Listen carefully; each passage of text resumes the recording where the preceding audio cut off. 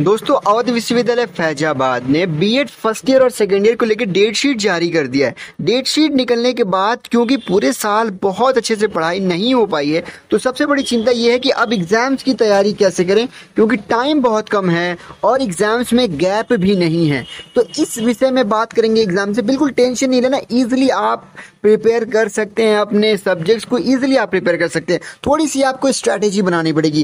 क्या है वो स्ट्रैटेजी आइए देखते हैं इस वीडियो में। सबसे पहले आप टाइम टेबल को देखिए। समझ जाएँगे कि आपको पढ़ना कैसे तो आपके टाइम टेबल में क्या दिया गया है? दोस्तों टाइम टेबल ध्यान से देखेंगे आप। तो आपका फ़र्स्ट पेपर 26 से शुरू होना है। सेकेंड पेपर 27 थर्ड पेपर 28 और अगर अगर अगर आपके ये चारों सब्जेक्ट नहीं है तो जरा देखिए कि नेक्स्ट पेपर आपका सीधे 8 तारीख को है। तो अगर आपका ऑप्शनल सब्जेक्ट आठ के बाद से एग्ज़ाम्स होने वाला है तो आप एक काम कर सकते हैं इजिली आप एक काम कर सकते हैं कि आपके जो ऑप्शनल सब्जेक्ट है, आप उसको छोड़ दीजिए।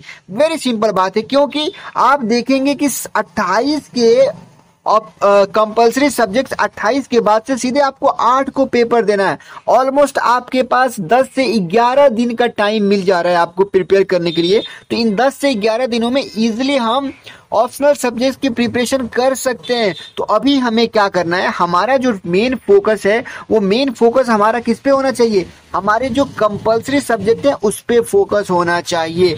जो फ़र्स्ट पेपर सेकेंड पेपर और थर्ड पेपर पे हमारा टोटली फोकस होना चाहिए। तो फ़र्स्ट पेपर की हम शुरुआत करेंगे पढ़ाई और फ़र्स्ट पेपर से हम प्रिपरेशन शुरू करेंगे। और फ़र्स्ट पेपर में भी कहाँ से शुरू करना है? पहले क्या पढ़ना है? वो मैं आपको पहले बता दूँ। तो फ़र्स्ट पेपर आपका नॉलेज एंड करिकुलम है, ज्ञान एवं पाठ्यक्रम, जिसका एग्ज़ाम 26 को तय किया गया है। और नॉलेज एंड करिकुलम का अगर आपके पास सिलेबस है तो सिलेबस देखिएगा। नहीं तो आप टेलीग्राम के लिंक पे आप ज्वाइन हो जाइए, वहाँ पे मैं आपको सिलेबस भेज दूँगा। देखिए फोर्थ यूनिट का जब आप सिलेबस देखेंगे तो फोर्थ यूनिट में आपको पढ़ना क्या है? पाठ्यक्रम के बारे में पढ़ना है। आपका फोर्थ यूनिट पाठ्यक्रम के बारे में है। और फोर्थ यूनिट में आपको तीन पॉइंट्स पढ़ने हैं। कौन कौन से? पाठ्यक्रम के अवधारणा, उद्देश्य एवं प्रकार और पाठ्यक्रम निर्माण के सिद्धांत और अच्छी उत्तम पाठ्य पुस्तक की विशेषताएँ। अंग्रेज़ी में बात करें तो आपको फोर्थ यूनिट में पढ़ना है curriculum concept aims and types principle of curriculum construction and characteristics of good book दोस्तों, ये जो पीडीएफ और ये जो आपके स्क्रीन पे फ़ोटो शेयर किया गया है, ये आपके ऑफिशियल वेबसाइट से डाउनलोड की गई आपकी सिलेबस कॉपी है।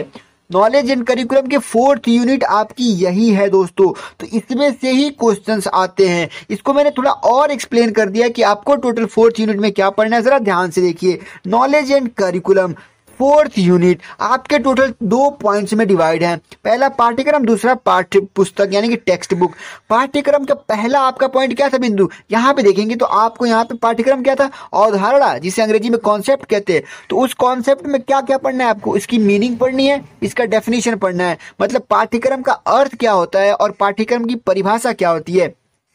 आपको ये पढ़ना है। दूसरा, पाठ्यक्रम के उद्देश्य और प्रकार पढ़ने इसके एम्स और इसके टाइप्स कितने प्रकार के पाठ्यक्रम होते हैं, ये पढ़ना है। और तीसरा बिंदु आपको, पाठ्यक्रम के निर्माण के सिद्धांत कौन कौन से आप पाठ्यक्रम कौन से सिद्धांत पे निर्माण कर सकते हैं? और last but not the least point है पाठ्य पुस्तक यानी कि टेक्स्ट बुक की करेक्टरिस्टिक्स बतानी है। मोस्टली टेक्स्ट बुक से किस तरह के क्वेश्चन आते हैं? कि अच्छे टेक्स्ट बुक यानी कि अच्छी पाठ्य पुस्तक की विशेषताएँ बताइए।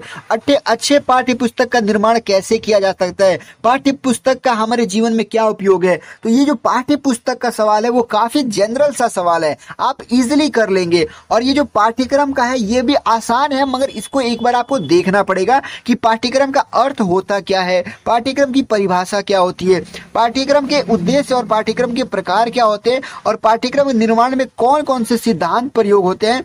दोस्तों, ये सारे टॉपिक्स पे आपको वीडियो मेरे चैनल पे मिल जाएँगे। ये तो ऑलरेडी अपलोडेड है दोस्तों ये वीडियो ऑलरेडी अपलोडेड है। एम्स एंड टाइप्स बाकी ये बिंदु रिसेंटली वीडियो बन चुकी है, बस मैं अपलोड ही करने वाला हूँ।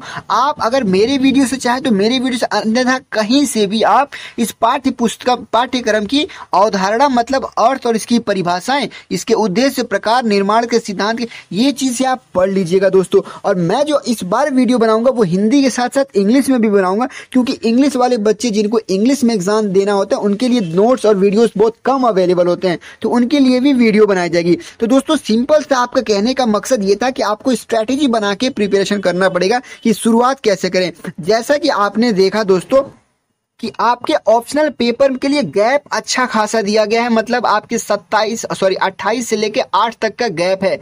तो अगर आपका पेपर ऑप्शनल 8 के बाद से है, Hindi, home science, English, math, physics, bio, economics और सिविक्स, उर्दू, अगर आपका पेपर 8 तारीख के बाद से है तो आपसे यही रिक्वेस्ट है, अभी आप जो कॉमन पेपर है, आप उस पर ध्यान दीजिए, इन तीनों पे ध्यान दीजिए और स्पेशली नॉलेज एंड करिकुलम पे ध्यान दीजिए। क्योंकि जब first impression is the last impression कहते हैं ना कि पहला जब पेपर आपको समझ में आ जाएगा तो बाकी चीज़ें आसानी से आप कर लेंगे। ठीक है दोस्तों? तो प्लीज़ चैनल से जुड़ जाइए, जैसे कोई अपडेट आपको मिलेगा। अब तो मतलब देखिए, एक चीज़ और मैं कहना चाहता हूँ कि अब जो वीडियोस मैं मोस्टली अपलोड करूँगा, वो इन्हीं तीन टॉपिक से रिलेटेड होगा। क्योंकि जब आठ की बात से फिर हम, या फिर ये पेपर जब जैसे ही खत्म होता, फिर हम ऑप्शनल की तैयारी करेंगे तो जुड़ जाइए चैनल से दोस्तों। मतलब अब तो पढ़ना ही है, मैं रिक्वेस्ट करूँगा हर एक विद्यार्थी से कि अब आपके पास जो भी समय है ना, वो सोशल मीडिया यारी, दोस्ती मूवीज़ और सॉन्ग इन सबसे बिल्कुल अलग करके पढ़ाई पे फोकस कर देना है दोस्तों, पढ़ाई पे फोकस कर देना है। ये जो वक्त बचा है ना, यही आपके मार्क्स डिसाइड करेगा। बिल्कुल लग जाइए दोस्तों, पढ़ाई पे।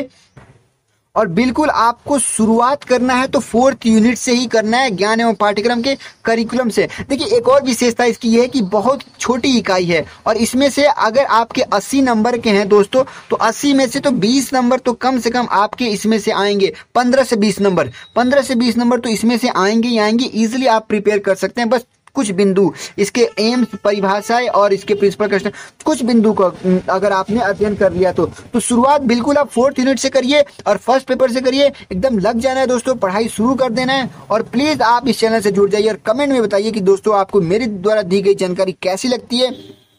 अच्छी लगती है तो प्लीज़ मुझे खुशी होगी, आप अपना फीडबैक शेयर करें।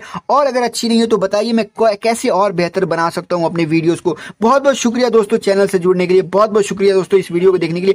अब हर एक चीज़ छोड़ के पढ़ाई पढ़ाई और बिल्कुल एग्ज़ाम्स की तैयारी अच्छे मार्क्स को लेके आना है। धन्यवाद दोस्तों, मिलते हैं अगले वीडियो में। जय हिंद, जय भारत। पढ़ते रहिए दोस्तों।